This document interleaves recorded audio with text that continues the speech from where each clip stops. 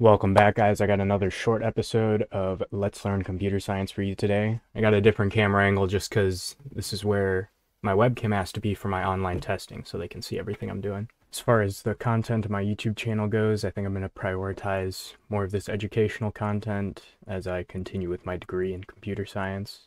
I recently purchased a new keyboard. I might do a review on that and some some typing practice, kind of reinforce the good practices, the home row, all that stuff. Probably less video game content for the time being. So let's get into this episode about compilers and the assembly language. Oop, misspelled assembly there. But let's get right in. So a compiler is a translation layer that translates your code into a language that your machine can understand. So a compiler takes the code written in a high level language and translates it to machine code. Some compilers first pass code through an assembler and then to machine code. Compilers create an executable. They are not ran as they are interpreted, right? So there's a difference between compiled languages and interpreted languages.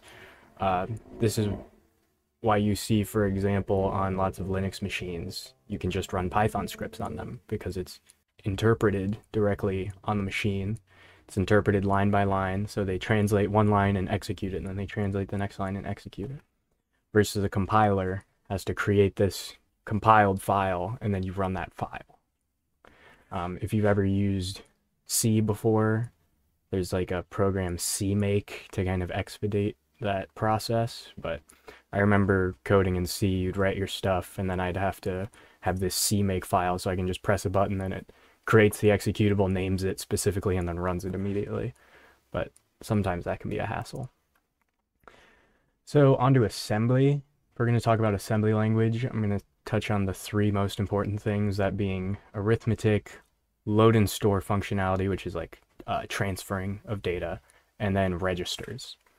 So arithmetic is going to be your adding and subtracting uh, to add or subtract two numbers in assembly, use the following syntax. So if I say add, and then I give it three operands, that would be equal to this x equals y plus z.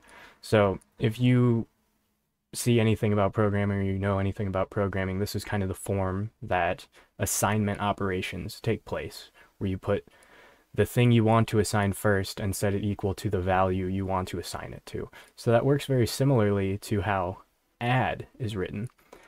And I guess I don't know if other instruction sets take the order of operations differently. I've seen before where the last one is the assignment, but for most commonly used instruction sets, the leftmost is your assignment. And then similarly for subtraction, it's just going to go left from right, x equals y minus z. So there we go. Next, we're going to talk about registers. So registers are typically a size of 64 bits called double word on all uh, x64 computers. If you're using a 32-bit computer, then it's going to be 32 bits. Um, registers act as variables for assembly. One major difference between variables in a programming language and variables in assembly is going to be that there are only 32 of them, with the last one always being equal to zero. With only three operands, the challenge becomes using only three registers at a time.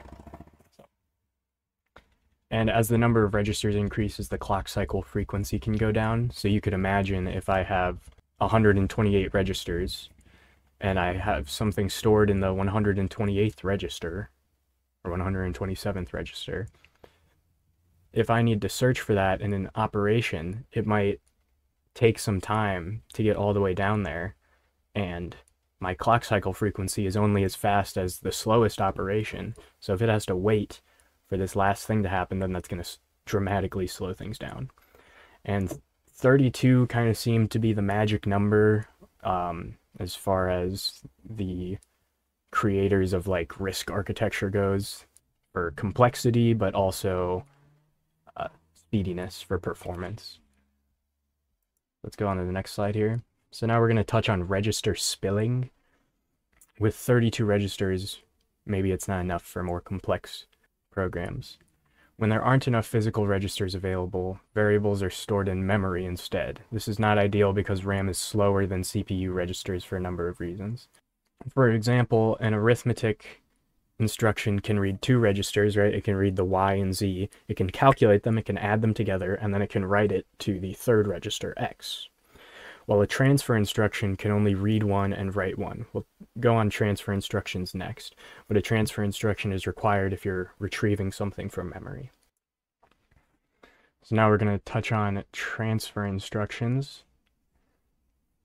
Two most commonly used ones are load and store. So to load an item is to grab it from memory and put it in a register. And to store an item is to take a value in a register and put it in a specific block of memory.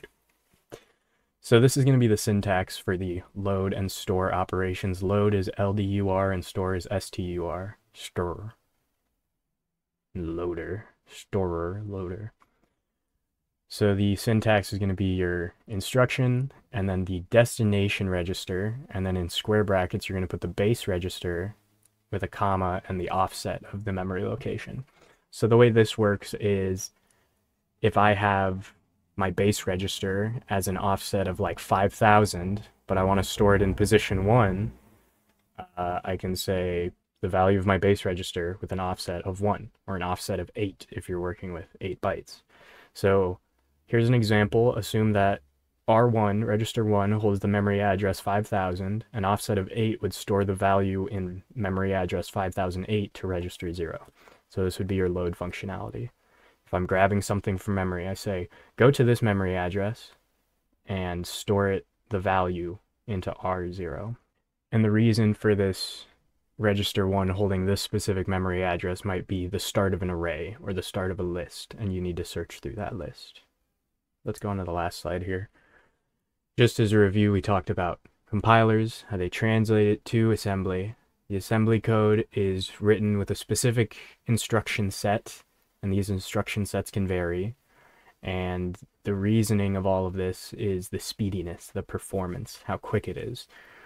Um, there's 32 registers inside of your CPU, and it does things very quickly a lot of the overhead for programs is on the operating system. It's waiting to grab something from memory, but with a register, it has access to all of them and it can process through it very quickly.